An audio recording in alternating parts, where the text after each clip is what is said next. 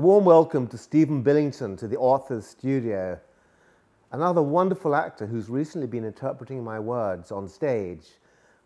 Stephen played the wonderfully dark, kind of Jekyll and Hyde character of Brian Bishop in Not Dead Enough, and I think he did an amazing job.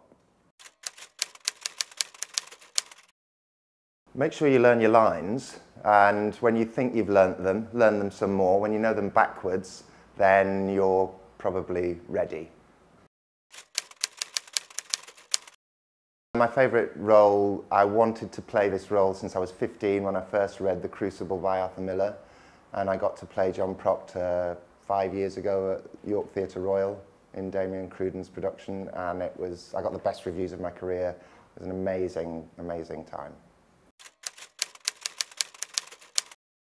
Normally, I learn my lines during, for a play during rehearsal, um, but on this occasion, Ian Talbot asked us all to learn our lines before rehearsal, which actually I've found really freeing. So I'm going to do that from now on because what you get to do, especially on a short rehearsal period, like we only had three weeks on this, um, you you just get to play a lot more. You know what I mean? And so you don't you're not worrying about lines. You're just kind of discovering the character and discovering the journey and, and playing. So it's um, incredibly freeing. On soaps, then you have to do it every evening. You go home, you, you learn your lines for the next day, and that's a kind of different, kind of shallow learning, really, because you forget it as soon as you walk off set. Um, but for plays, it's a kind of deeper, a deeper thing. Movies, is, again, is slightly different. But.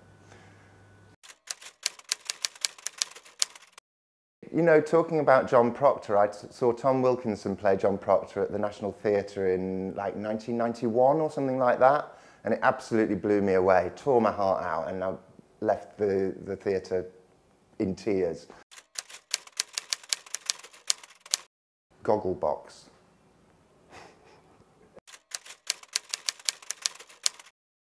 yes, I do. I always choose a piece of music for the character. Um, so I have a bit of a listen to that. And then I like to just sit quietly, especially if I've got emotional scenes coming up, like I do with Brian in um, Not Dead Enough. I like to just find a little kind of solitude, a little quiet place for me to focus and just try and kind of empathize with where the character's at at that particular moment. Hunter by Björk. It's got a lot of momentum. It kind of goes boom, ba-ba-dum, ba-ba-dum, ba-ba-dum, bum, bum, ba-ba-dum. It's really kind of gives me the kind of rhythm that I think a murderer might have. Pretty much for as long as I can remember, weirdly, yeah. Although I also wanted to be, because I grew up in South Africa, and I wanted to be a game warden, I wanted to be kind of a zoologist, really. Um, because I started, I, when I moved down to London, I worked at the Connaught and Claridge's as a training manager. Um, and I started meeting all these amazing actors. Uh, Gregory Peck, Gene Wilder, um, Dirk Bogarde, um, Alec Guinness, people like that, people who I'd really kind of revered. Um, and I remember having a conversation with Alec Guinness, because I was on reception at the Connaught at the time when he arrived.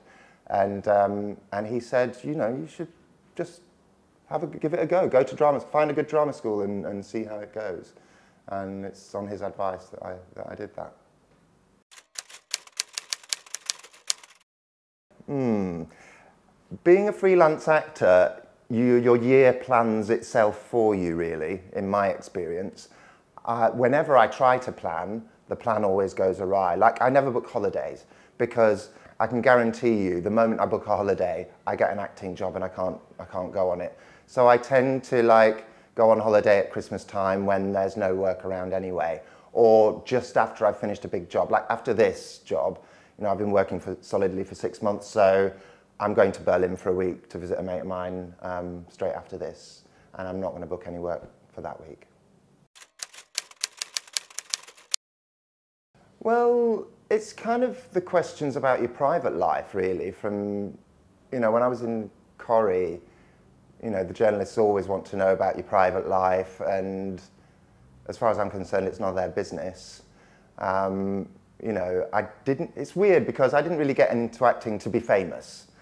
It's, to me, it's a kind of slightly distasteful side product of acting.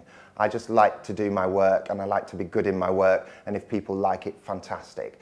But I'm not really fond of people prying into my private life. Not, not that I've got anything to hide, but it's just, you know, it's my business. They're, they're very different. Like in terms of a process, for me, they're very different. Um, I love the process of theatre because you get rehearsals, so you get to really kind of immerse yourself in the role. And also you get to play the story from the beginning to the end in one arc um, on stage with a live audience, all of which are real positives for me. Um, but then, you know, on telly you get you get a copy of it at the end and you know you get to keep it for posterity and it's always there and whether it's shit or whether it's good it's there on tape and you know everyone can see it and so there's you know there's different positives you know i would ideally i would like to do good quality work that kind of a certain number of people enjoy um, but you know occasionally it's nice to be popular as well thanks so much stephen really great insights into the life of an actor, and I'm fascinated that you had this career change partway through your life. If any of you've had a career change, I'd love to hear about it. Pop, pop it in the comment box.